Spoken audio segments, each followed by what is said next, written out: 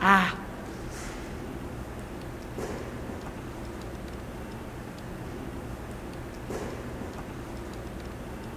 Lutar com palavras é a luta mais vã. Enquanto lutamos, mal rompe amanhã. São muitas, eu pouco. Algumas tão fortes como javali. Não me julgo louca.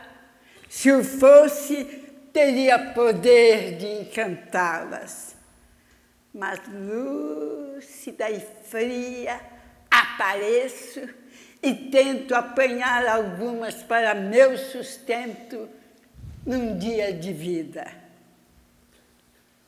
Deixam-se enlaçar, tontas à carícia, e súbito fogem. E não há ameaça, e nem há sevícia que as traga de novo ao centro da praça. Insisto, solerte, busco persuadi-las ser-lhes escrava de rara humildade. Guardarei sigilo de nosso comércio. Na voz, nem um travo de zanga ou desgosto. Sem me ouvir desliza, perpassam levíssimas e viram-me o rosto. Lutar com palavras parece sem fruto. Não tem carne e sangue. Entretanto, luto. A palavra, a palavra, digo exasperada. Se me desafias, aceito o combate quisera possuir-te neste descampado, sem roteiro de unha ou marca de dente nessa pele clara. Preferes o amor de uma posse impura e que venha o gozo da maior tortura. Luto corpo a corpo, luto todo o tempo, sem maior proveito que o da caça ao vento.